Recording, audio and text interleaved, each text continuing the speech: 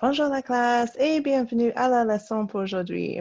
So today we're going to read some more of Heidi.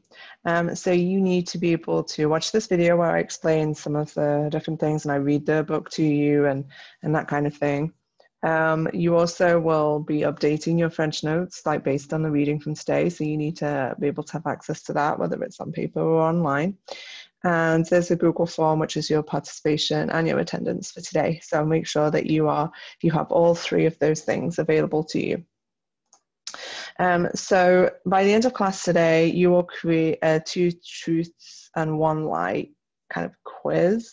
So instead of answering a quick quiz, you're actually going to create the questions yourself, um, and based on the narrative of Heidi, based on what we read today um, after reading and listening with the class. So if you're in class, you're doing it all together. If you're watching this video, then I'm doing it with you, guiding you through it. Okay, so um, on your Google form, there are these questions. I want you to have a little think. Um, you can read through, or not read, but um, skim over the first couple of pages of Heidi um, if you want, or just do this in based off entirely off your memory. Um, but last week, when we read the first couple of pages of Heidi, um, we got the background and the beginning beginnings of the story. So can you answer these questions for me? Number one, who died in the book? Who did Heidi go to live with? And where? You don't have to answer that where on the Google form, but you can if you know it. And then um, just give me a very brief description of Heidi and her grandfather. So try and do this based off memory. Have a look through the book, even if you're just um, like skimming over, and don't take more than five minutes on answering these. Pause the video and then come back. Okay, so once you're back with me, um, and if you didn't know the answers to these, then I'm going to talk to you about them a little bit. So, number one, who died? So, at the beginning of the book, we find out that Heidi's mom, mother dies, which in French is mère. Okay, so she refers to it as mère, and then she says maman, and her mom basically gets sick, dies, passes away. Um, and there's a funeral for her. So then, numéro deux, Heidi then goes to live with her grandfather, which in French is grand-père. But, and a few of you asked this question um, last week, like you weren't quite sure on the understanding, but she's never met her grandfather before. So she doesn't know him. And he's never met her. He doesn't know who she is.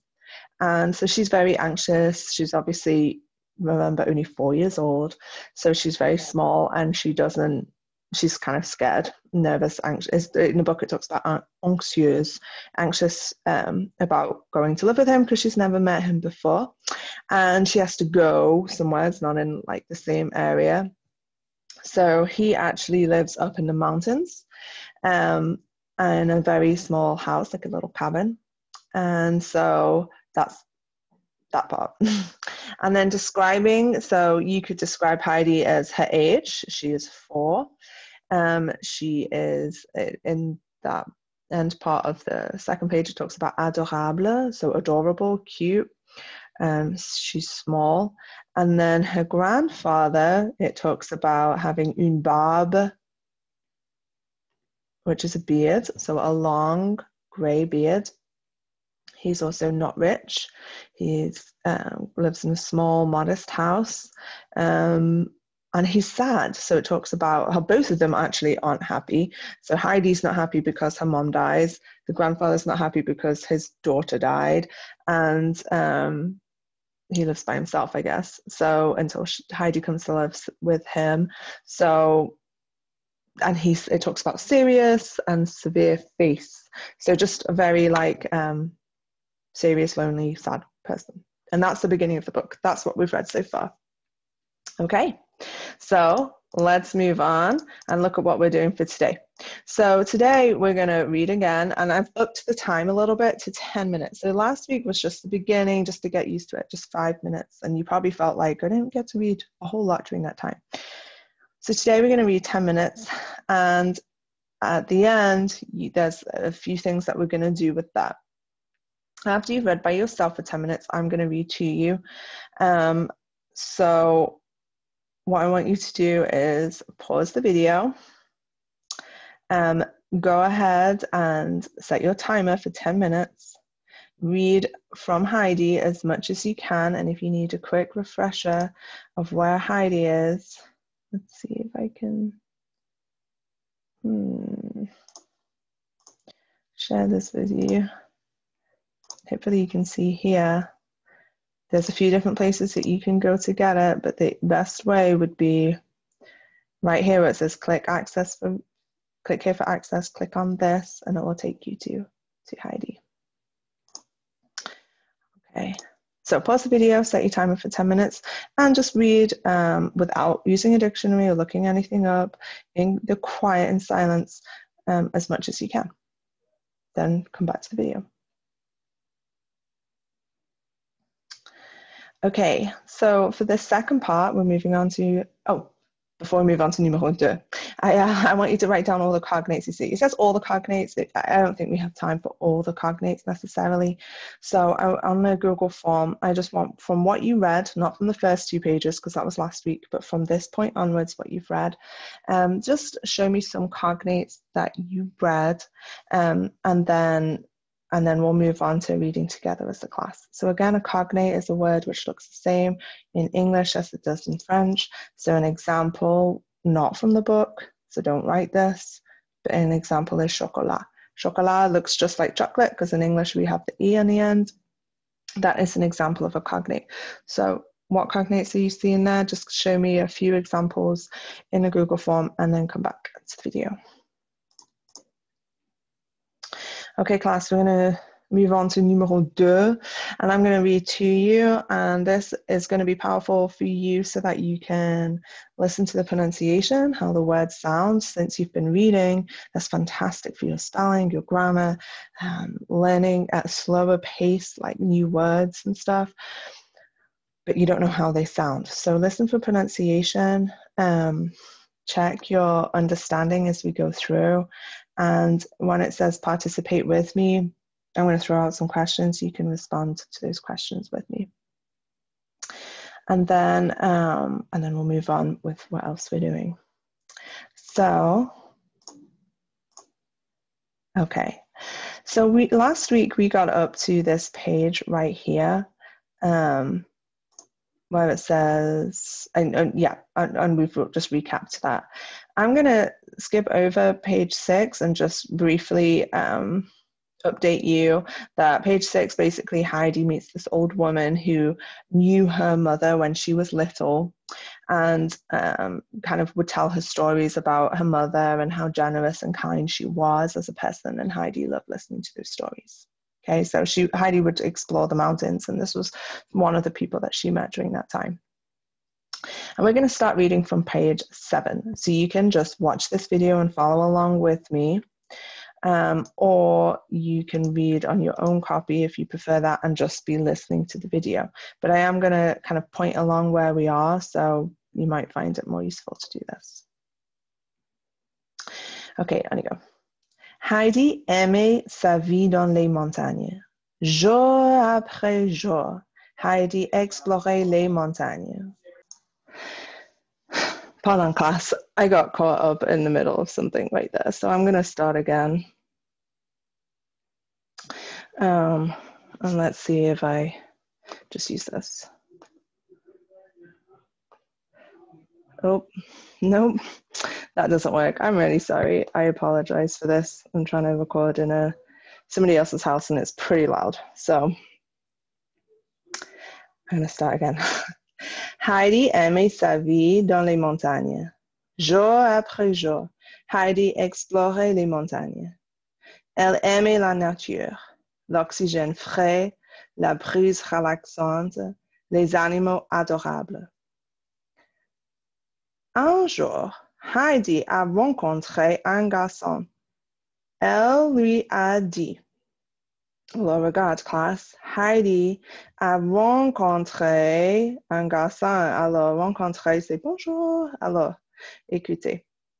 Elle lui a dit, bonjour, je m'appelle Heidi. Ça, c'est rencontrer. Bonjour. J'habite avec mon grand-père sur cette montagne. Le garçon a dit Bonjour, je m'appelle Peter. Mais Peter était triste. Il était orphelin. Il n'avait pas de famille. Il était très pauvre. Alors regarde classe, parce que Peter, il n'a pas de famille, il n'a pas de mère ou de père. Alors il était orphelin. En regardant Peter, Heidi a pensé l'histoire de sa mère. Sa mère était généreuse. Inspirée par sa mère, Heidi a eu une idée. Elle a dit, voilà, du pain. Alors regarde classe, ça c'est du pain. On mange du pain. Elle et elle a donné, elle a donné son pain à Peter. Classe, qu'est-ce que c'est du pain en anglais? Is it pain or is it bread? It's bread, oui, du pain, c'est du bread. Très bien. Finalement, Peter et Heidi sont devenus de bons amis. Alors, ils sont amis. Heidi jouait avec Peter. Alors, classe, jouer, c'est le verbe jouer aux jeux vidéo, jouer au basket, jouer au foot, jouer. Heidi jouait avec Peter.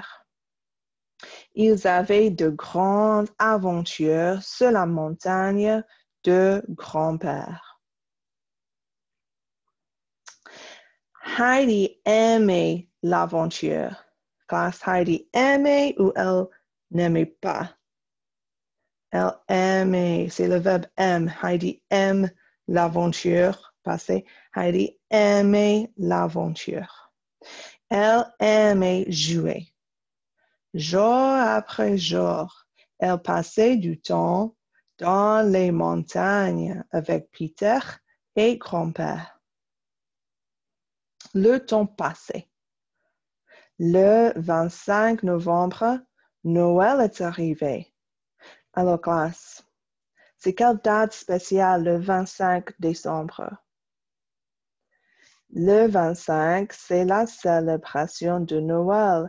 Alors, classe en anglais, comment on dit Noël? Oui, bien sûr. Le Noël en français, c'est anglais. C'est Christmas en anglais. Grand-père avait une surprise grand-père a donné un traîneau à Heidi.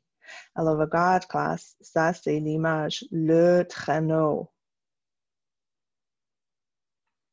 Grand-père a donné à Heidi un traîneau.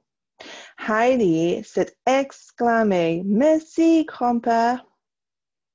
J'aime le traîneau. Le soir de Noël, Heidi a aidé Peter. Le, traîneau, Peter a aidé Heidi. Le traîneau était difficile à naviguer. Hmm, difficile à naviguer. Mais Peter était un expert. Heidi aimait jouer dans les montagnes. Un jour, grand-père a expliqué.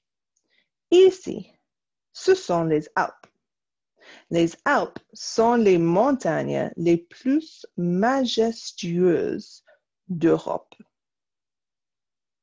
Alors, les Alpes, les montagnes sont les, sont les montagnes les plus, like, très, très, très majestueuses d'Europe. Heidi était heureuse. Elle aimait son grand-père. Elle aimait Peter. Elle aimait sa vie dans les Alpes. Okay, class, we're going to stop there. Pause. And we're going to go back and do some activities with what we've just read. Okay, so we've done the checking for understanding, participating with me. On your Google form, you have a couple of questions about what did you understand of what you read um, after listening to me and what do you still not understand. So go ahead and complete that. That helps me because as I read them, then I can come back in the next video and check in with you and kind of recap on it. Um, but during this time, we want to focus mostly in French, and uh, it's okay, we don't understand 100% of everything that we read, everything that we ever hear. Um, that's life. So you've got to learn how to problem solve and deal with not understanding everything. But we do want to understand most of what we're, we're reading and hearing. So um, let me know so that I can guide you, but I'm not going to ex- explain word for word every single detail. That's not how language works. Um, once you're done with that, it's also going to ask you to move on to numéro trois, which is find adjectives to describe people. So as we go through, I want you to, oh, we'll probably on the video, we'll do this in class, but on a video, I don't, you don't need to do this. But I want you to add the adjectives that you find to your list. So let's go back to um, that first page that we read, and you only need to do it based off of what we read today. So have a look at this page and tell me what um, adjectives you find. And an adjective is a describing word. So words that describe, um, particularly describing nouns, describing people, describing places, describing things.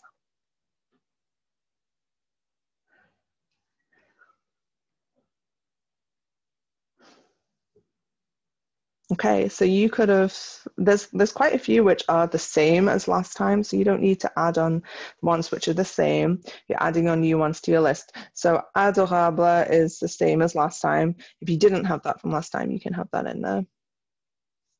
Uh, relaxante, I would say, is new. That's uh, a nice one. It wouldn't really describe people. This is talking about the relaxing, like breeze, so like the relaxing atmosphere. Um, because they're up in the mountains in nature. So it talks about fresh air, fresh oxygen, relaxing breeze, atmosphere, and you know, cute animals like everywhere, like in this picture. And we have some of the same adjectives here. Triste. This one might be new for you, pauvre. So it's the opposite of riche, riche et pauvre. And then we have généreuse, which again was the same as last time. So go through, find the adjectives, and add any new ones to your list. It might only be a couple on there this time today. That is okay. Um, and then come back to the video. And then the last thing that you're going to do is two truths and a lie. So based on the reading today, instead of doing a quiz I, and where I tell you true or false sentences, I want you to tell me true or false sentences. Okay, and you're going to tell me two true sentences in English. Let me write this down. Two true sentences in English and one lie in English. Okay, so the whole thing is in English. So um, you need to tell me what's true. So for example, true, and I'm gonna, I don't really want to give you answers, but you could start with Heidi loves, what does Heidi love? Um, true,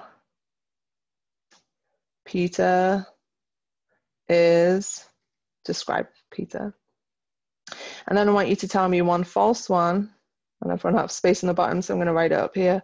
False. Heidi hates. What does Heidi hate? And make it up. So, for example, Heidi hates animals. That would be a lie because she doesn't hate animals because we know that she loves them because she thinks they're cute. So, um, tell me in English two true sentences and one false in class we're going to do that and we're going to go around and guess each other's and whatever but you can't do that since you're working by yourself at home so just do it on a google form and then i will be able to use those um, in a lesson in the future actually i'll be able to use it in next week's lesson um, and it's your participation so have fun with today. Um, pause the video as you need to, complete the Google form as you need to, and then you're all done. Au revoir.